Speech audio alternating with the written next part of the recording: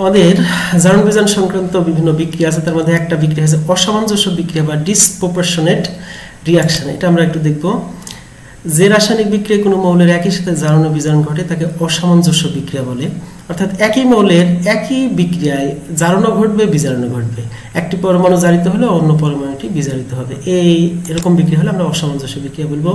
Chlorine বা bromine বা iodine লঘু ক্ষার দ্রবণের সাথে বিক্রিয়া করে এর একটি পরমাণু জারিত হয় এবং অন্য একটি পরমাণু বিজারিত হয়। অর্থাৎ ক্লোরিন এ ধরনের বিক্রিয়া দেয়, ক্ষারের সাথে ব্রোমিন দেয়, আয়োডিন দেয়। তো আমরা দেখি সোডিয়াম হাইড্রোক্সাইড দুই মোল আর ক্লোরিন এক মোল। এখানে শূন্য ছিল জারণ মান। আমরা বিক্রিয়ার ফলে আমরা যেটা পাই, সোডিয়াম ক্লোরাইড পাই, সোডিয়াম হাইপোক্লোরাইড পাই আর পানি পাই। তাহলে এখানে শূন্য ছিল, এখানে মাইনাস ওয়ান ক্লোরিন আর এখানে ক্লোরিন প্লাস ওয়ান তাহলে একই সাথে ক্লোরিনের যে দুটো পরমাণু এখানে আছে, তার একটা কি হয়েছে? বিজারিত হয়েছে আর একটা কি হয়েছে? জারিত হয়েছে। এ ধরনের বিক্রিয়াকে বলা হয় অসামঞ্জস্য বিক্রিয়া। এবার সজারণ বা অটো অক্সিডেশন বিক্রিয়া আমরা দেখব। কিছু কিছু পদার্থ, যেমন টার্পেন্টাইন অলেফিন যৌগ, অর্থাৎ দ্বিবন্ধনযুক্ত যৌগ, যেগুলো ফসফরাস এবং কিছু কিছু ধাতু, যেমন লেড জিঙ্ক ইত্যাদি বায়ু হতে অক্সিজেন শোষণ করে সক্রিয় অ্যাক্টিভেটেড হয় এবং ওই সক্রিয় যৌগ এমন কিছু যৌগকে জারিত করে, যা সাধারণত জারিত হয় না। ধরনের বিক্রিয়াকে সজারণ বিক্রিয়া অর্থাৎ একটি যৌগ সাধারণত কোনোভাবেই জারিত হবে না, হওয়ার কথাও না। কিন্তু তাকে জারিত করবে কে? এই অ্যাক্টিভেটেড যে লেড কিংবা জিঙ্ক কিংবা অলিফিন কম্পাউন্ড এগুলো। এখন উদাহরণ কি হতে পানি জারিত হয় না। অর্থাৎ আমরা জানি যে পানি কখনোই জারিত হবে না সাধারণ অবস্থায়, কিন্তু লেডের উপস্থিতি জারিত হাইড্রোজেন পার অক্সাইড উৎপন্ন করে। তাহলে আমরা দেখতে পাচ্ছি লেড প্লাস অক্সিজেন প্লাস পানি lead oxide plus hydrogen peroxide এখন আমাদের পানি এখানে মাইনাস টু ছিল, এখানে হাইড্রোজেন পারোক্সাইড আমরা জানি মাইনাস ওয়ান অর্থাৎ ঋণাত্মক জারণ মানের হ্রাস ঘটেছে, তার মানে কি? এটা জারিত হয়েছে। তাহলে আমরা বলতে পারি যে পানি সাধারণভাবে জারিত হওয়ার কথা না, কিন্তু লেডের উপস্থিতিতে পানি জারিত হয়ে গেছে এই ধরনের বিক্রিয়াকে সজারণ বিক্রিয়া বলে।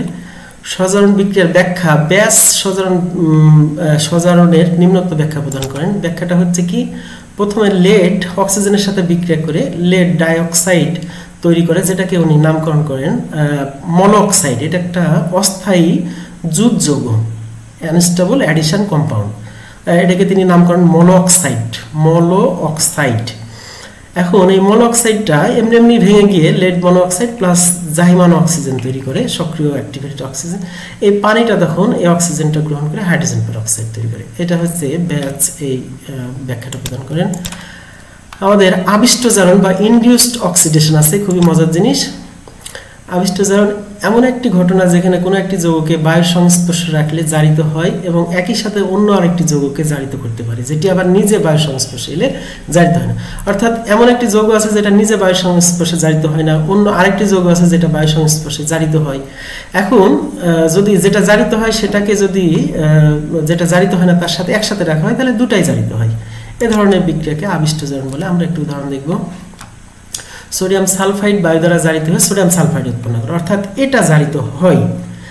সোডিয়াম আর্সেনাইড বায়ু দ্বারা জারিত হয় না। অর্থাৎ বায়ুতে রেখে দিলে একা যদি এটাকে রেখে দেওয়া হয়, এটা জারিত হয় না।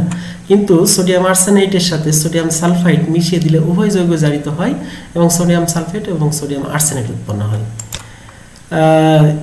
অর্থাৎ sodium sulphide plus oxygen, sodium sulphate, এটা জারিত হয়। Sodium arsenide plus oxygen, no reaction এটা হয় না।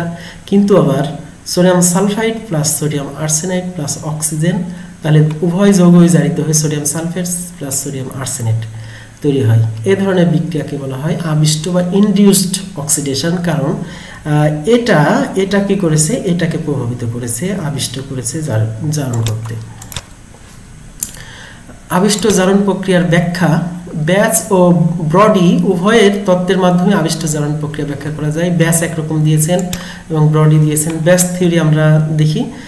ব্যাস বলছে সোডিয়াম সালফাইড অক্সিজেনের সাথে বিক্রিয়া করে N two S O five এ ধরনের মলক্সাইড তৈরি করবে, যেটা অস্থায়ী যৌগ এই মলক্সাইডটা তখন কি করবে? সোডিয়াম আর্সেনাইডকে একটা অক্সিজেন দিয়ে দিবে। দিয়ে দেওয়ার ফলে sodium sulphate plus sodium arsenide তৈরি হবে। অর্থাৎ নিট বিক্রিয়া sodium sulphide plus sodium arsenide plus oxygen সমান sodium sulphate plus sodium arsenide.